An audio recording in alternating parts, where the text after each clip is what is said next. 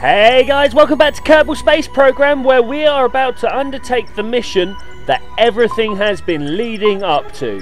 What you see me doing here is selecting a Kethane patch on Minmus for our Minmus based refuel depot. I should have used Minmus so many times there, but there we go. Um, so yeah, I'm just looking around for a nice equatorial patch of kethane so we can start landing down like drill rigs and fuel tanks, um, maybe some sort of science cleaning place so that we can have a little buggy that goes around and collects all the science from Minmus. Uh, yeah, uh, that, that's basically what I want to what I want to start setting up today. Um, today we're going to be launching the actual, well, not the actual, a test drill platform. Um, just to, just to see if the small small bits work because so far in our science tree we're we're we're missing um, a few pieces. Um, anyway, heading back to the space center, it's time for us to go spend our previous Minmus science. Jeb obviously went off uh, to Minmus, dragged his ass all the way up there, uh, launched back, brought back oodles of science, oodles and oodles of science. So it was saying like 400 there. So I started my spending spree by purchasing the drill platform. I'm not sure what else was in that little pack there, but the uh, the drill platform was definitely what I was after. Um, I then bought the the next uh, item on the, the, the tier lower down. That that was the large. Um, uh, large fuel tanks and the radial, um, the large radial engines. Uh, and now I'm just having a look around at what else I want to buy. And I'm fairly sure that I want the fuel pumps and the, the, the skipper engine. Um, and indeed, I think I'm just going to go straight for that. I've been looking at docking ports. I've been looking at the uh, the the asteroid clamp because that, that would just be pretty cool. I'm not sure what I'd use it for. I'd probably just like strap jets and well, not jets, rockets and and habitation modules and all sorts of stuff to to one of these asteroids and turn it into my own mobile space base. I wonder if you can get kethane on asteroids. Probably not. Kethane uh, asteroids aren't planets after all. Anyway, what are we building here? Well, connoisseurs of you out there will recognise the kethane conversion unit and the smallest kethane tank.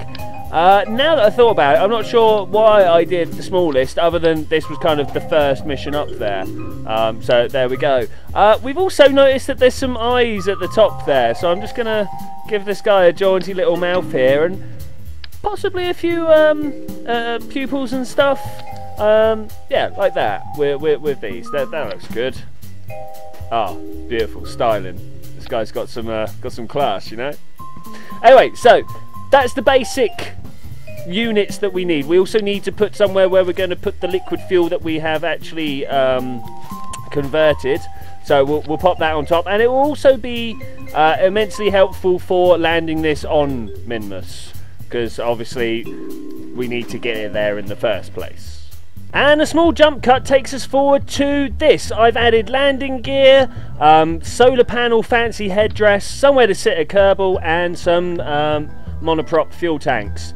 Uh, the fuel tank, the monoprop's there more to give me a repository for monoprop because I know I'm going to be using a lot of that up there. And of course, our spangly new radial engines for um, landing.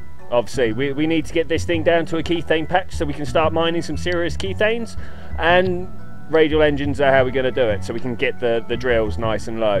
All that really is left to do now is to throw monoprop on as I have just finished doing, some fancy lighting and maybe a kethane detector. Pow! No kethane detector, but there's everything else that I said I was going to put on there. Um, this is, of, of, course, as I've not mentioned it beforehand, uh, my mobile kethane drilling rig. Um, you can see the drills on the outside, and I explained everything else while on it, why I was on about it then. So the next thing is to make some sort of interplanetary uh, module. Um, I give thought to just slapping a launcher on underneath it, but I, I, I really do need a little thrusting up to Minmus uh, thing to add on the bottom. And 10 minutes later I've come up with this beauty. That is indeed a skipper in the middle with the 2 meter uh, fuel tanks above that. We then have the large one meter diameter, I think it's one meter, uh, fuel tanks outside of that, and then some great big solid boosters out of that. All firing at once, dropping them from the outside. You can see the yellow there of the fuel line, meaning that the asparagus um, staging has been implemented. And this, of course, is Keith's Froggy Waiter. Yes, You heard me correct. Keith's Froggy Waiter. As you can tell by that somewhat alarming pitch on my boosters there, uh, my rocket design has taken into account the fact that when the boosters boost, uh, everything's gonna it's gonna push everything together. Definitely not a mistake where I didn't put any struts on. This is this is design intention. Now, due to the slightly shake, I have a quick check to see if I've broken anything, and and then this builds up, and it all, I'm just like, oh no, oh no, oh, oh, oh, which I think is quite nice. And I also have the uh, foresight to get out and have a good look at all the bits spraying off in every direction.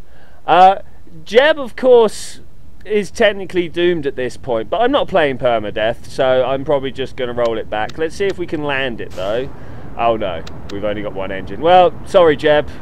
Uh, this future clone simulation of you uh, didn't make it.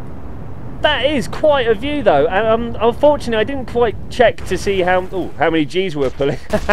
uh, that was a uh, return to sender there, uh, send him straight back to the astronaut complex, or maybe that was the science building. Anyway, maybe there's a few uh, a few fixings that need to happen here. Uh, we're just going to do that and skip to the launch pad. So we've added struts top and bottom of all the external tanks and boom, off we go. Beautiful green light indicating the purpose of our mission, of course to go get them sweet, sweet Keithanes. Um, launch is nominal. Uh, uh, there's not really much to, to talk about on this one, so I'm actually going to jump us up to Apoapsis. And here we are at the dizzying heights of 60 kilometres. Not quite as high as I would like, but It'll do. I, have got my nose in the air. It turns out these skippers not quite as good as you'd hope for, but that's all right. This is still just my, my, my launch stage. I, have not even got into the bit that I wanted to take us to um, to Minmus. So, yeah, it's all good. What more do you need? So with my periaps up like in the plus numbers, I decided it's time to start figuring out where Minmus is so we can um, boost our way on out there. It, I always like to do it in like within the first orbit just I don't know, I get impatient or something. Um, which means that I've got to figure out where all my maneuver nodes are going to Minmus. Obviously, my maneuver nodes are going to Minmus. And just to prove it, here's me doing my orbital climb burn. Yes, here's the correction burn, and here is the rocket itself. Woo!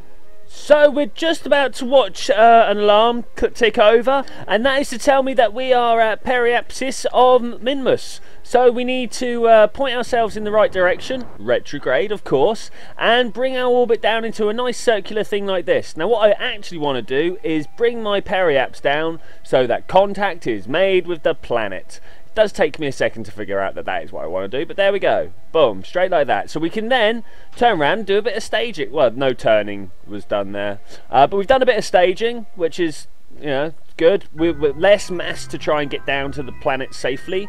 Now we just need to uh, thrust our way back up into a, a, an orbit that's not just going to smash into the floor and start thinking about where we're going to land this. Of course, we have already selected our landing point and we just need to try and get down to that particular point right there. So we're going to bring ourselves down and find a point on uh, roughly the equatorial line uh, right there to um, bring us into a, into a, a less inclined orbit. And I'm going to skip me messing, messing around with all these um, maneuver nodes because it takes me forever. Now, I can't remember which point of the journey I noticed this, but one of my uh, RCS nozzles is in totally the wrong place. Uh, Jeb should now be indicating where, where it is. It's you see just like in between the engine and the main body there that thing so if I grab that and just fly on round this is like the best bit about the Kerbal attachment system I mean it makes flying very, very awkward. But once, if you mess anything up at all, well, not anything at all, but if you mess any of the radial equipment up, you can just get out and, and redistribute stuff. Particularly good for monoprop and RCS. So if you just pick up or put down any particular like large bit of mass, you can redistribute how, how the, uh, the, the the controls fire. That's amazing. Anyway, we're going to plummet down to like ridiculous level. Um, there is like an hour to wait, but hopefully I should be speeding this along quite nicely. uh, like that. There we go. I knew if I just stretch that word out long enough, we can get there without jump cut. Uh, and here we go. We're just going to thrust away, and hopefully the uh, indicator there will put us bang on the uh, the equatorial line. Uh, if there's one set of uh, burns that I don't know how to do intuitively, it's these um, uh, inclination adjustments. I, I just can't get my head around it. I don't know why. But anyway, that there is the patch we're going for. That was nice of me to point it out on the mouse there. Um, and well, th this should be fairly easy. We just get up and over the, the, the bit we're going for and kill all our forward velocity. So we'll take a small jump forward to that bit. Um, we're literally just down at Periaps, and that mountain there is where I am aiming for. So this should be nice and simple. What we're going to do is configure ourselves for a landing. Uh, you'll notice that I've already got rid of that, that little extra... Um, extra uh, fuel tank and, and, engine I had underneath. Uh, we are now set for landing. Um, and now I've just got to wait. Um, hopefully we'll, we'll, get there soon enough. But as this is is it Padlock? As this is Padlock's first mission, who knows what's going to happen? He is not a proven astronaut, though he has done well in all the simulations.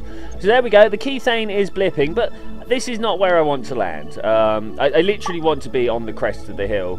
Um, unfortunately, I think I may have slightly overshot the crest of the hill whilst I was doing this, but there we go. That, that, that's the way things go.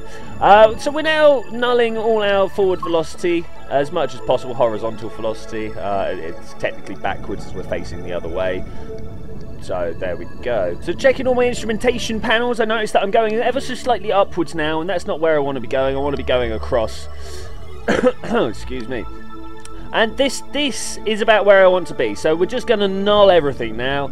Um, now, obviously, we are on Minmus, so it's a, it's a little bit of throttle here, a little bit of throttle there, uh, and it's going to take the best part of forever. So we'll just kind of time warp our way through and just give ourselves a push in the right place at the right time. Um, looking for the radar altitude there, but I couldn't find it, and I was plummeting. So I was like, you know what, we're just going to do this from the outside. Uh, a, a, totally inside instrument landing should technically be better because the radar altimeter tells you how high you are from the floor, as opposed to the one at the top of my screen right now, which tells us how high we are from the what I presume to be mean sea level. Um, but there we go. Who knew that the ocean could be so angry?